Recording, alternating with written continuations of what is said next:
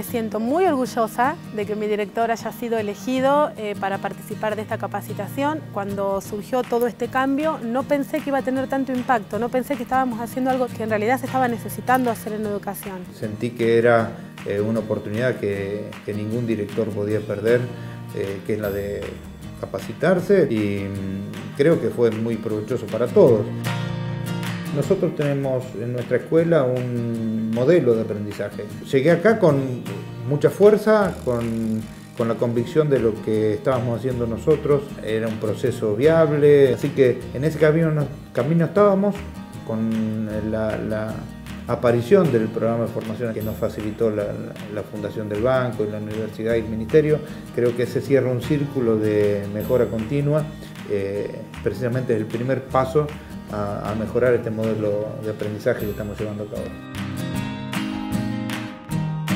Tuve la posibilidad de, conversar con ellos para conocer su modelo pedagógico. Hace unos años que están implementando el aprendizaje basado en proyectos. En este modelo el docente tiene el rol de facilitador. No se observan clases magistrales, sino que los chicos están divididos en grupos, investigando sobre la temática que, están aprendiendo y, y, tienen la posibilidad de acceder al docente ante cualquier pregunta que quieran. Haciendo hincapié sobre todo en sus intereses, en lo que los motiva, el hecho de que haya talleres y que los chicos puedan elegir, esto es muy importante. Porque a veces creo que no hay aprendizaje posible si no hay interés. Ahí es donde estamos nosotros, tratando de que esa necesidad o de que ese interés surja.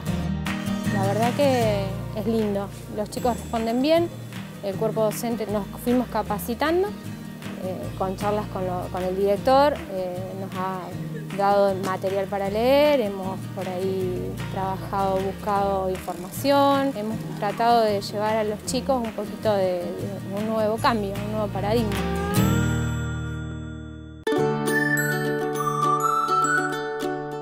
Los chicos me contaban y resaltaban lo importante que era lograr aprendizajes que les sirvan para la vida y cómo estos aprendizajes que habían adquirido a través del aprendizaje por proyectos no se los olvidaban nunca. No tenés que estudiar de memoria, que al otro día ya te lo olvidás, estudias con tus palabras. Acá el recorte del docente está presente, porque si no es imposible, siempre hay una mirada que atraviesa.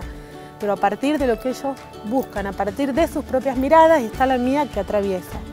Que atraviesa, no que se planta. Si existe libertad, como decíamos, existe felicidad, existen esas dos cosas, el conocimiento se comparte. La escuela es una escuela que aprende. Vivir en un entorno de aprendizaje es eso. Todos enseñan, todos aprenden.